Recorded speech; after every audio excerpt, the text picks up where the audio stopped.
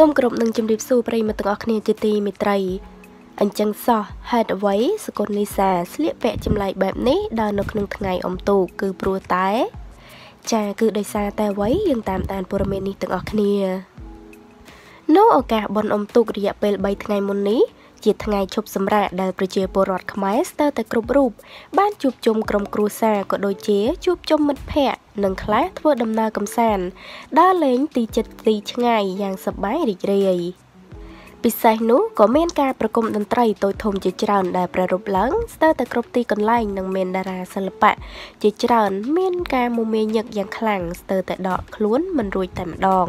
ដោយឡែកកាលពីម្សិលមិញនេះផងដែរ ក៏មានបណ្ដាអ្នកលេងបណ្ដាញសង្គមជាច្រើនមានការភ្ញាក់ផ្អើលបន្តិចនោះទេជាមួយនឹងរូបថតមួយសន្លឹករបស់តារាចម្រៀងស្រីប្រចាំផលិតកម្មរស្មីហងមាសអ្នកនាងសកុលនីសាតាមរយៈរូបថតនេះបានឲ្យឃើញថាតារាចម្រៀងស្រីសម្លេងផ្អែមរូបនេះបានស្លៀកសម្លៀកបំពាក់បែបសាមញ្ញប៉ុន្តែបិទបាំងមុខចិត្តឈឹងតែម្ដង ជាមួយនឹងម៉ាស់ព្រមទាំងក្រមាឃ្លុំមុខយ៉ាងជិតតែម្ដងខណៈពេលដែលនាងដើរតាមផ្លូវ មាត់ទន្លេ ក្នុងអំឡុងបនអំទូកថ្ងៃទី3យប់មិញនេះ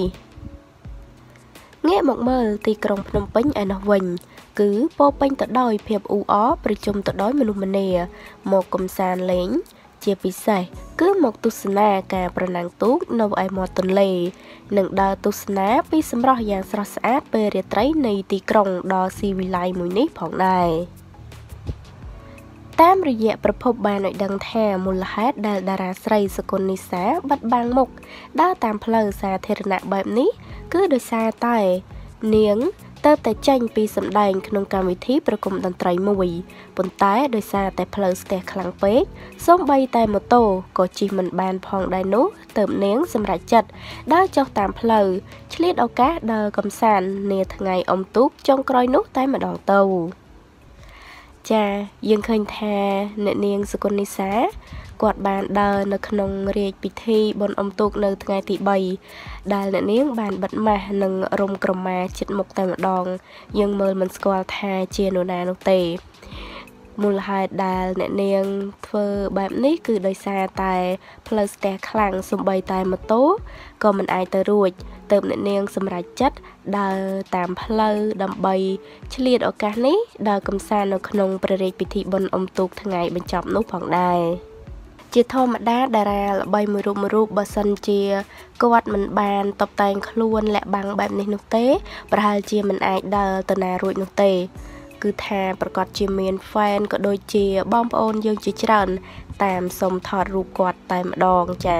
គឺរោមគាត់មិនអាចដើរទៅណារួចនោះទេយើងឃើញថាមិនត្រឹមតែអ្នកនាងសកុននីសានោះទេសូម្បីតែតារាប្រុសមួយរូបនេះក៏គាត់បានបិទមុខចិត្តដែរចាយើងមើលមិនច្បាស់ថាជាតារារូបណានោះទេប៉ុន្តែខ្ញុំអាចទាយស្មានថាប្រហែលជាកូនប្រុស របស់លោកព្រាបស្វាត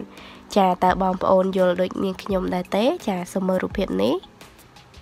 ហើយថ្ងៃនេះក៏សូមអធិស្ឋានចំពោះបងប្អូនផងពីព្រោះថាសំឡេងមានបញ្ហាគឺជំងឺផ្ដាសាយបើសិនជាស្ដាប់អត់សូវបានអីក៏សូមអធិស្ឋានចំពោះនាងខ្ញុំផងដែរចាហើយតកតងនឹងព័ត៌មាននេះដែរក៏សូមបញ្ចប់តែត្រឹមនេះអរគុណបងប្អូនទាំងអស់គ្នា